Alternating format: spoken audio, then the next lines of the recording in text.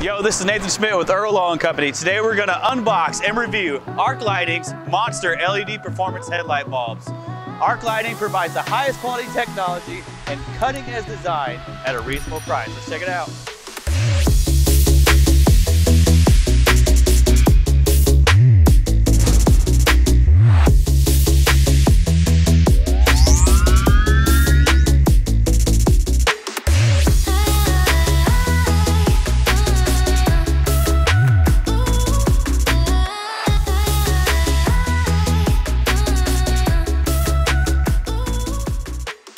Most vehicles come straight out the factory with halogen headlights, and it can be pretty costly to upgrade those lights.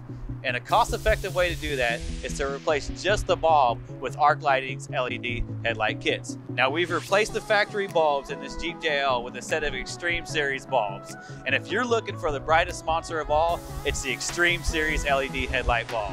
The Extreme Series bulbs can produce up to five times the light output of stock halogen bulbs. The Extreme Series LED bulbs use automotive grade LED chips that are paired with the patent cooling technology. This innovative design makes for a beast of a headlight at 10,000 lumens per kit, 45 watts per bulb, and 6,500K temperature color. You don't have to worry about these bulbs overheating thanks to the vac pipe vacuum heat pipe cooling technology. The vacuum liquid heat pipe pulls produced heat from the circuit board three times more effectively than conventional heat sink designs. ARC has engineered these bulbs with cooling fans designed to be as compact as possible. They're designed to match your stock bulbs as close as possible and will fit in even the tightest places. They are also compatible with most reflector and projector housings.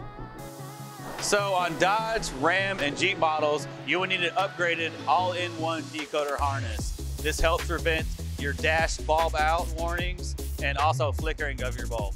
Arc Lighting's all-in-one harnesses are the highest quality solution on the market for normal or complicated electronic situations. These decoders install quickly by plugging the harness module into the vehicle's headlight connector.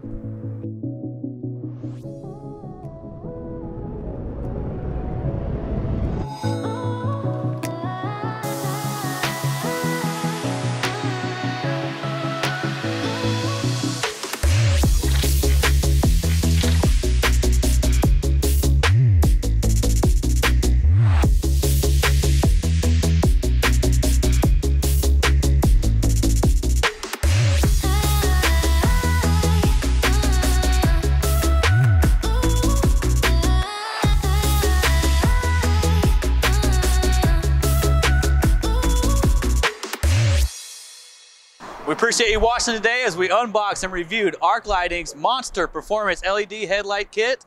Remember to tune in every Friday for new products, installations, and reviews like this.